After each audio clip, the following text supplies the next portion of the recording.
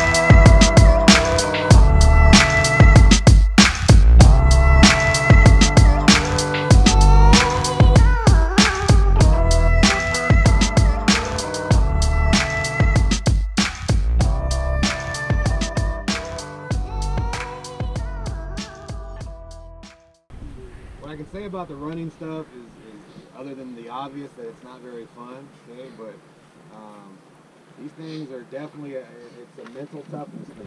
Don't just leave here and just be like, well, that's over with, great.